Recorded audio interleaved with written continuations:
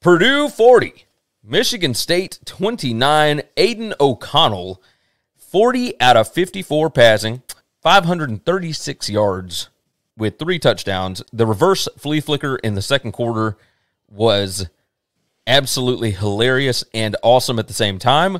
It was a flea flicker that went, I think, a total of like 10 or 12 yards in the air. And then the, the dude ran the ball the rest of the way. It was awesome. Purdue had a 62% post game win expectancy. In the first game, by the way, Alabama's post game win expectancy, uh, 60%.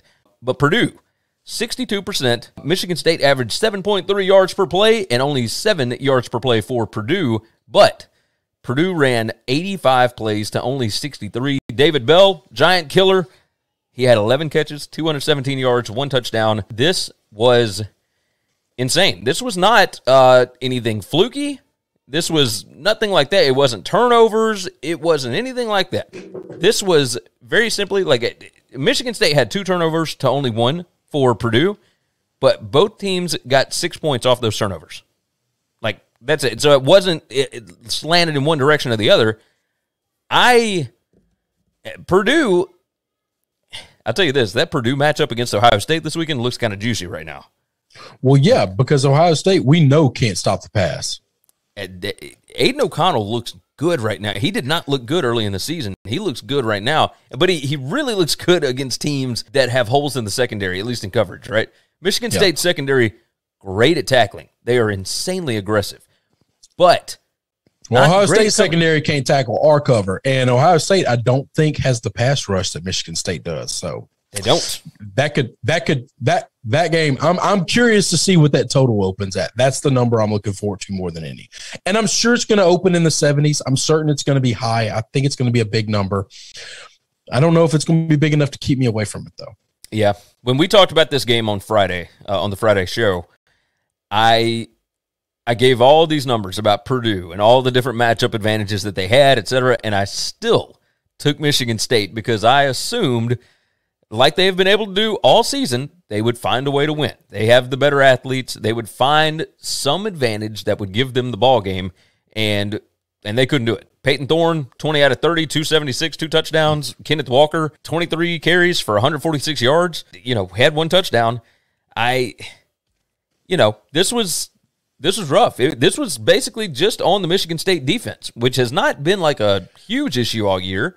No, they've but, been they've been really good. They've been really good. They've had a bend but don't break defense, keeping people out of the end zone, which is a big deal. Yeah. Making teams settle for field goals, which is a big that's a four point swing every time it happens.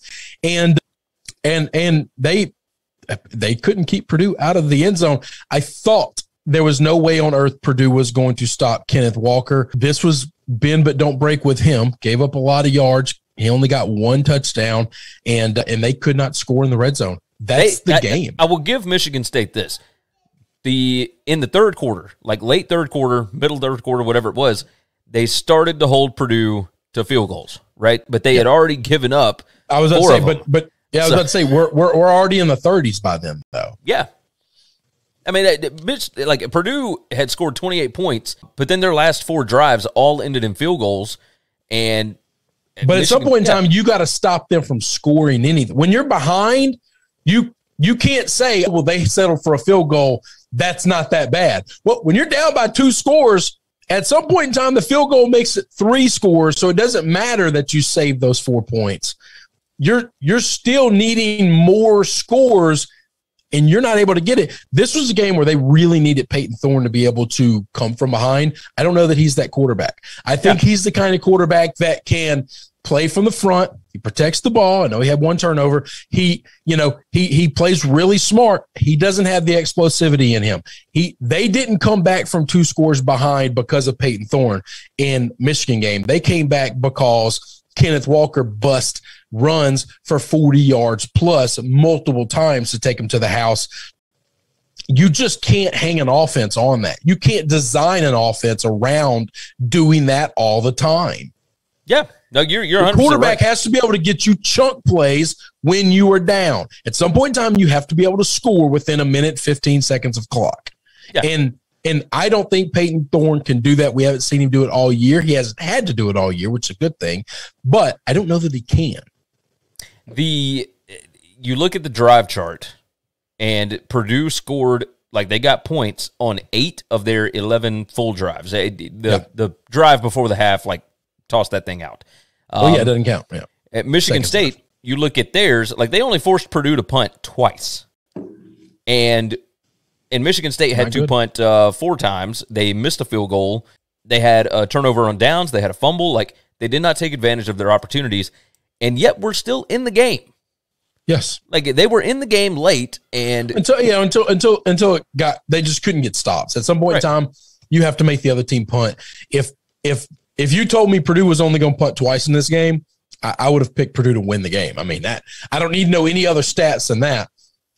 I know that the turnovers didn't kill them, but you lost the turnover battle, things that they haven't done all year. You lost the penalty battle, and you couldn't make the other team get off the field. Those are three things that Michigan State hadn't done all year. They did them this game, and it cost them the game. I mean, it, it was a combination of all three of those things. But when you lose the penalty battle, when you lose the turnover battle, and when you cannot make the other team punt, you can't win that game. And so you look at this final score and you say, man, Purdue beat the hell out of them. Man, it- wasn't as bad as the score sounds, but when you take all the things that you did poorly uh, and and you add them all together, yeah, it, it looks like you got your ass kicked. Yeah, it, it was. You look at just this number: eleven of eighteen on third down, one of one on fourth down. That means that there were six times that they got stops.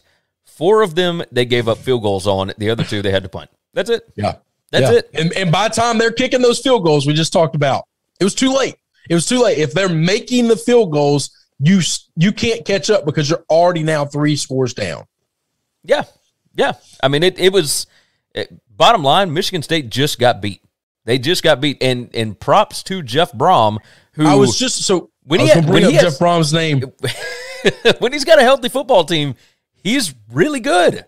I'm going to ask you this: Do you think Brahms now, if if he pulls off a, an Ohio State win in the shoe, you think his name gets brought up for any of these jobs? Because so far his name hasn't hasn't circulated not one time. Yes, I think yes. so too. Now maybe not the LSU job, but I I don't know, and I wouldn't hate it. I uh, well, I will tell you this. I think that there I are some of these. somebody who could coach a quarterback. That's all I want. Is that so much to ask?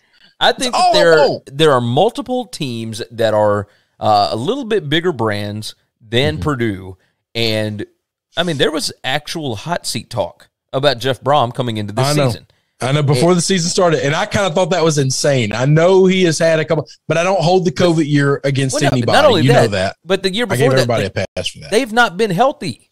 They've not Yeah. had their full allotment of players, and you don't get a bunch of big time players at Purdue. Well, so if you don't have them, you know where is this they got one of the best receivers in the world and more for three years, And and, the dude maybe and the dude maybe played 18 games in three years. Like, I don't know what you do with that. You recruited the freak. You finally got a stud to come play with you, and you get 18 games out of him. I, maybe not. I just made that number up. I'll tell you this. I bet it ain't a lot more than 18. I, I don't. I don't even know that he was eighteen.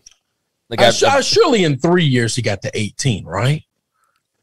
I'll have to double check that. We might, I, I don't listen, think. I that- don't think so. That might be a gross exaggeration. You're right. It might be a lot less Yeah. than that. Bell is a, is a special player. Bell has been amazing.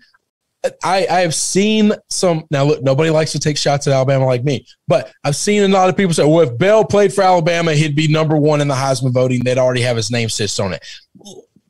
We we need to be real careful before we just start scratching Matt Corral's name off. All right. Yeah. That guy hasn't had a bad game yet.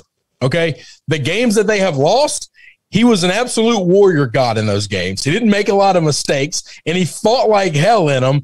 And he's not having a bad performance, and he's had the best performances of anybody in the country. Let's be real careful before we just start throwing. If he played somewhere else, he'd be. Get- I do think he'd be getting more respect than he is. I do think he belongs in the conversation, and I absolutely would be okay with him getting an invite to New York.